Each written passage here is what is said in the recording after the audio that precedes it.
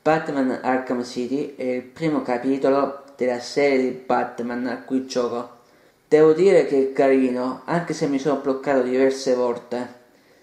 Sinceramente questo genere di cose non è che mi piacciono molto in un videogame.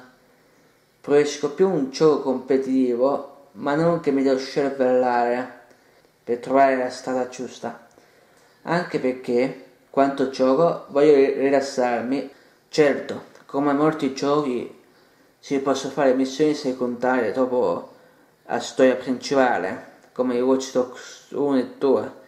Però sinceramente questo tipo di missioni secondarie, tra virgolette, secondo me stanno bene come stanno, cioè, cioè non uh, le giocherei mai perché sinceramente missioni secondarie che sono più complicate di quelle della storia principale sinceramente mi dà un po' ai nervi.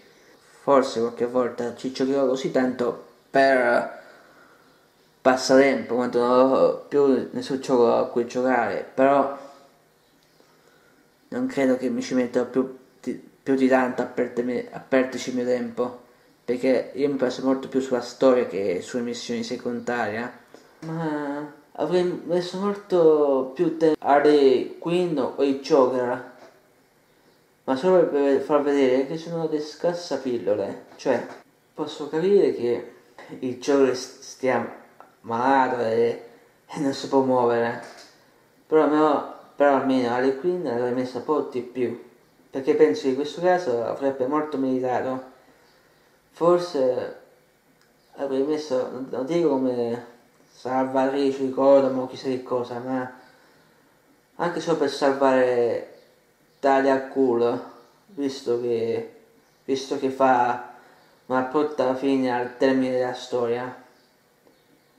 E sinceramente mi è dispiaciuto moltissimo, visto che quel personaggio mi è piaciuto moltissimo, anche se poco, come posso dire, poco accentuato, cioè fare, fare solo alcune scene. Personalmente, personalmente avrei messa di più. Così come il Catwoman, che l'avrei messa molto di più nel videogioco rispetto a, a come è stata impostata. Cioè, le avrei fatto fare molte più missioni come primaria, non come DLC o come missioni sporadiche. Certo, questa opzione si vede anche in Batman Arcanine, però come missione secondaria per liberarla dall'enigmista, che mi sono fermato mi pare alla quinta missione, mi pare alla quinta chiave, ma neanche mi ricordo.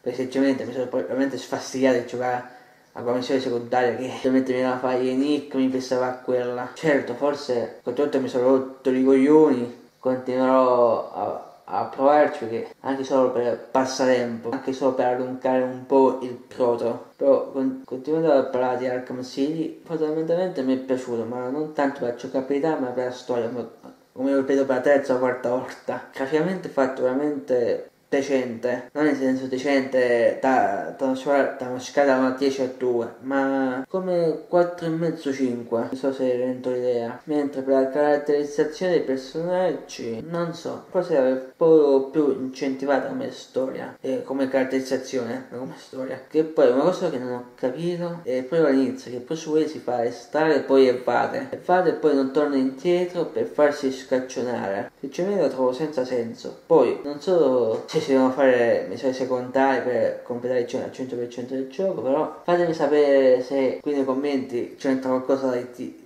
missioni secondarie, perché sinceramente trovo la cosa un po' troppo stupida, diciamo così. Vabbè, forse in futuro farò una missione secondaria, boh, vabbè, mi sono, senti, mi sono un po' ripetuto, ma vabbè. Eh, spero che il video vi sia piaciuto e lasciate un bel like al video e noi ci vediamo al prossimo video, ciao!